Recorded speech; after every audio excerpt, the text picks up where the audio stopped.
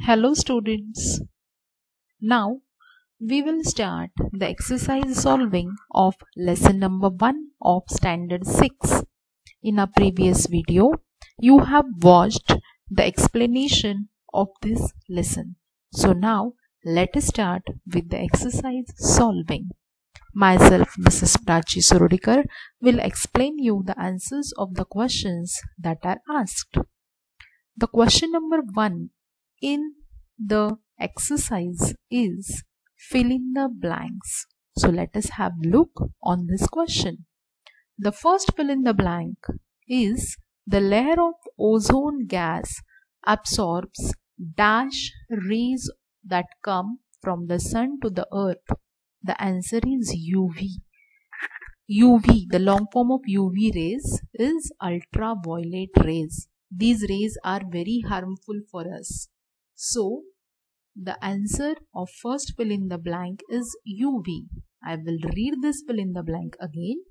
The layer of ozone gas absorbs UV rays that come from the sun to the earth.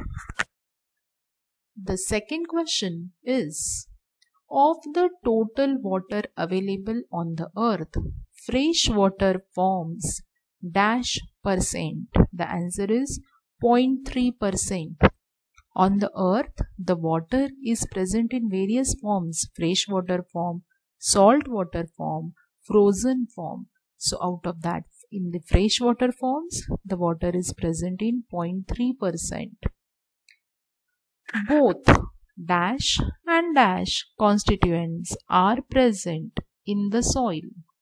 So, the answer over here is biotic and abiotic Biotic components includes all living things and abiotic components includes non-living things like air, water, land and togetherly these biotic and abiotic constituents are present in the soil. So these are the answers of question number 1 fill in the blanks. You can note these answers in your notebook.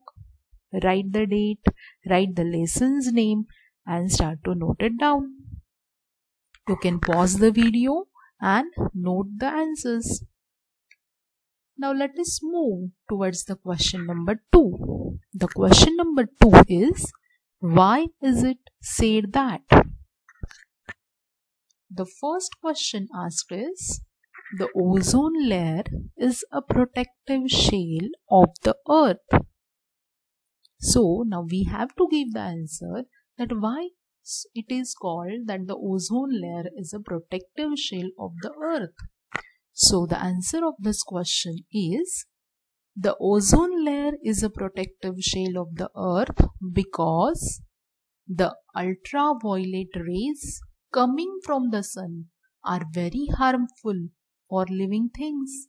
As I told you that these UV rays can cause even the skin cancer, skin diseases, redness, patchiness on the skin. So these UV rays are very dangerous and those harmful rays are coming from the sun and this ozone gas absorbs these UV rays. So the second point of answer is the ozone gas absorbs these rays and as a result life on the earth get protected.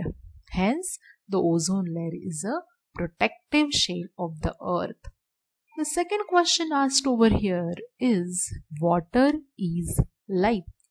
The answer of this question is Water is life because first point of the answer is the blood of animals and the sap in plants contains a very high proportion of water. No living thing can survive without water. Can we survive without water? No. And the third answer is therefore it is said that water is life. Now let us move towards the next third question. Is seawater is useful even though it is not potable? The word potable means the water which can be drunk is called as the potable water. the water which we can drink is the potable water. So we cannot drink the sea water. So even we are not drinking the sea water why it is useful? Why it is said that it is useful? So the answer is sea water is useful even though it is not potable because First point of the answer is water from the oceans can be used for making electricity in many countries. Whatever the water is present in the ocean that is used to rotate the turbines and the electricity that comes in our home that can be made from the water which is present in the sea. So nuclear power plants require the coolant like water to bring down the temperature of the reactors. This demand is fulfilled by the water from the oceans, the factories where nuclear weapons are created or the nuclear reactions are taking place. There the so much amount of heat is released. So to reduce that temperature because of the heat, coolant is required.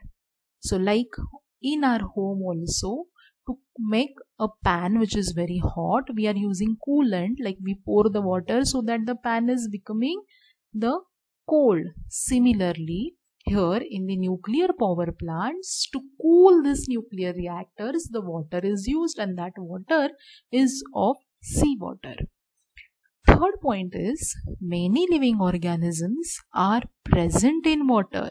So you can find various fishes various algae so many plants and animals that are present in the water. And that sea water is very important for them because they will not be able to survive if the sea water is not there. And hence it is called as sea water is useful even though it is not potable.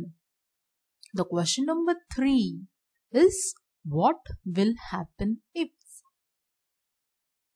First question asked over here is microbes in the soil get destroyed. What will happen that you have to answer? What will happen if the microbes in the soil will get lost or will get destroyed? So first of all, you have to know that microbes are very important. So if those microbes in the soil get destroyed, then there will not be a formation of humus. Humus means what? Whatever the dead and decaying matter is present on in the soil that get decomposed by this bacteria and the humus is formed. This humus is having high nutritive value.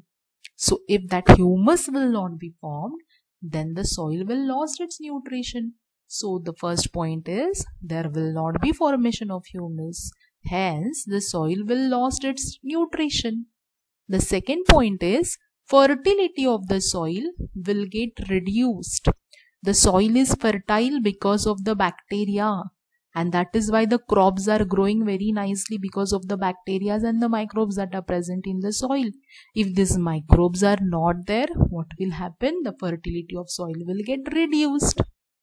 Now the next question is the number of vehicles and factories in your surrounding increases.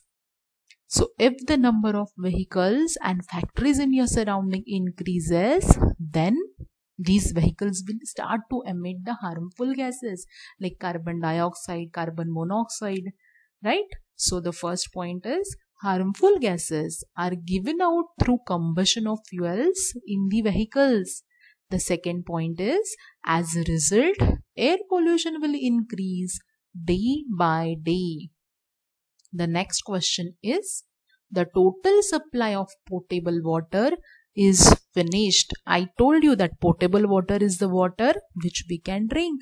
If the total supply of potable water is finished, then first there will not be a water for drinking.